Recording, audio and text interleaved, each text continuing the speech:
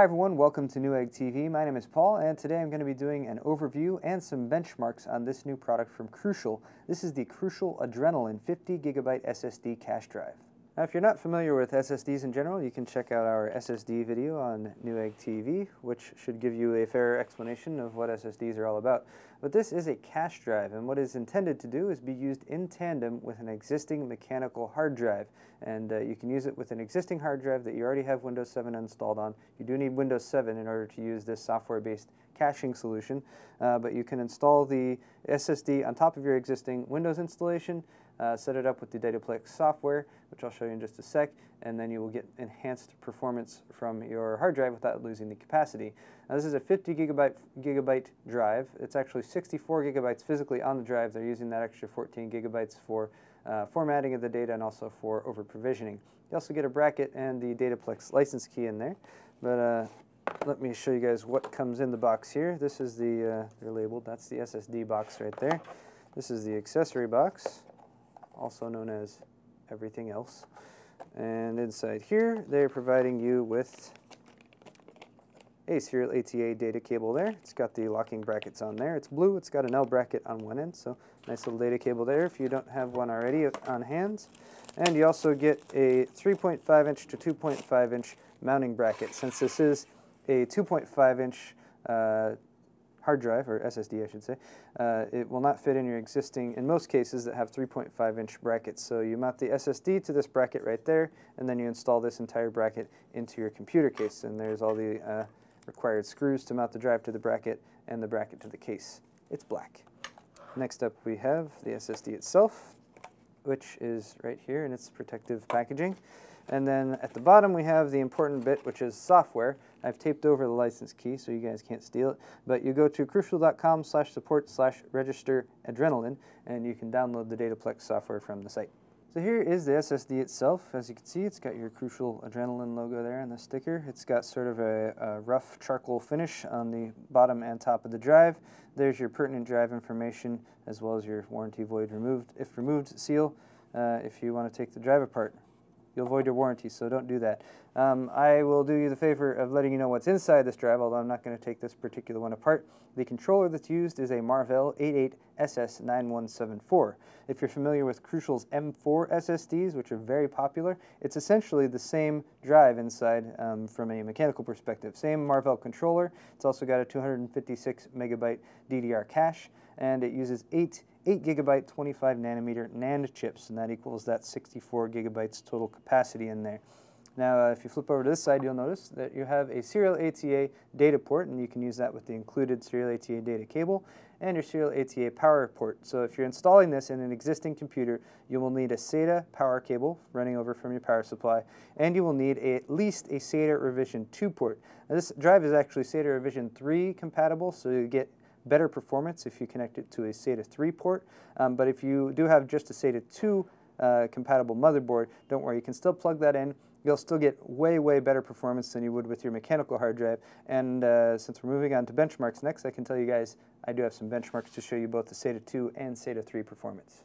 So here we are over at our test bed, and um, by the way, our test bed is currently using an X79 chipset uh, from Intel, and we're connecting to the native serial ATA controller on that chipset to run our tests. Uh, now what I've done is taken a Seagate Barracuda 7200 RPM 1 terabyte hard drive. I went ahead and did a Windows installation on that, did all the updates, driver installations, and got our baseline results. So over here on the left is our Crystal Mark baseline results for just the mechanical hard drive installed.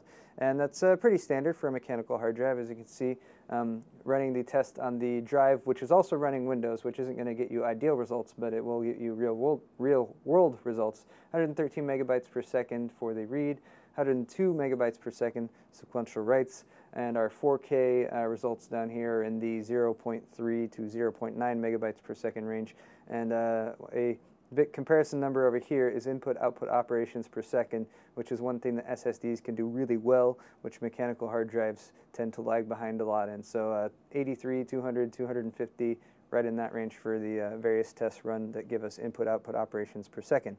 Now I have two tests.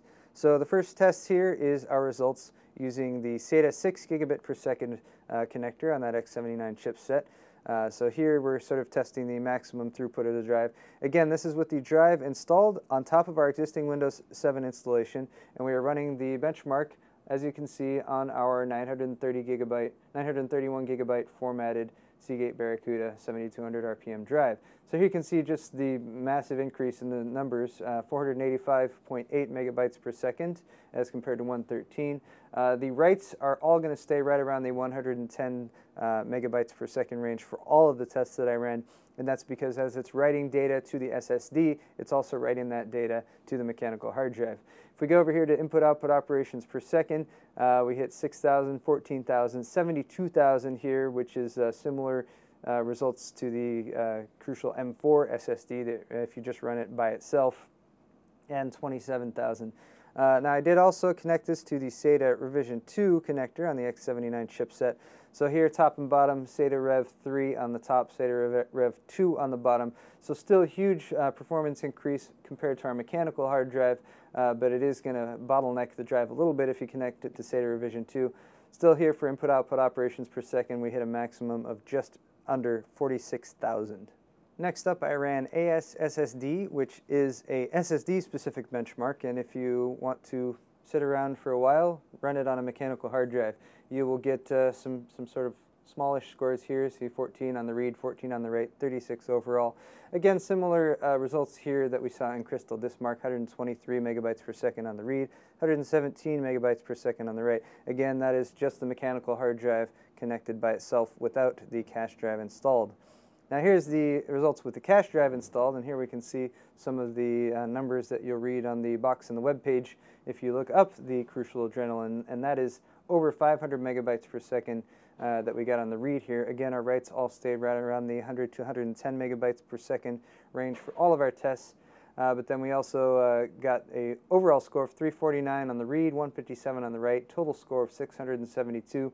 And again, you can see just the huge input-output operations per second jumps we get going from a, to an SSD from a mechanical uh, 12,000, 25,000, and uh, 70,000 was the max we hit with this benchmark. Uh, that's connected to the SATA Revision 3 uh, connector. Again, uh, also ran that on the SATA Rev 2 connector, so uh, here's the results for that. again, similar compared to our CrystalDiskMark tests. And finally, we have ATTO, which is kind of the old standby. It's been around for a while, used very much in uh, both hard drive and SSD testing. So this left side test here is the default test with no SSD cache drive attached. One in the middle here is the test with the SSD, uh, the Adrenaline SSD drive attached. This is connected to the SATA Revision 2 3 gigabit per second bus. And then finally here on the right, we have the cache drive attached running on the SATA Revision 3 6 gigabit per second bus. Now, if these charts look different for you, bear in mind that it does scale them based on how much data is represented. So this chart goes up to 200 megabytes per second. This one goes up to 500 megabytes per second. This one goes up to 1,000 megabytes per second. Uh, so again, on this test, we saw similar results to CrystalDiskMark, which is that our maximum read uh, with no SSD attached was about 128 megabytes per second at the, at the uh, fastest point. About 116 megabytes per second was the fastest write speed that we saw.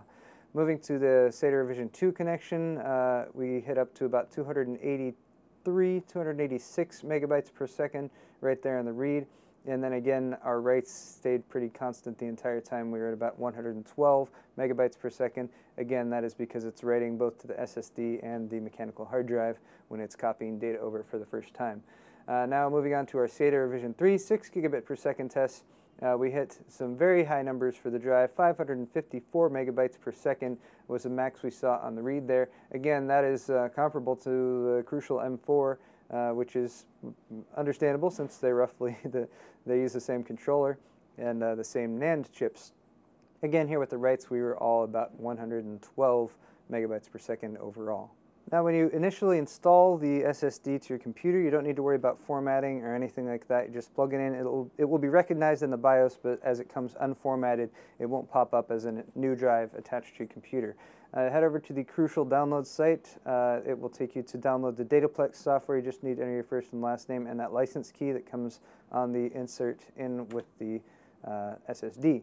It'll take you through uh, downloading the Dataplex software. From there, you go through the installation process. It's pretty basic. It's very painless. It will automatically detect your boot drive and that uh, SSD that you've attached.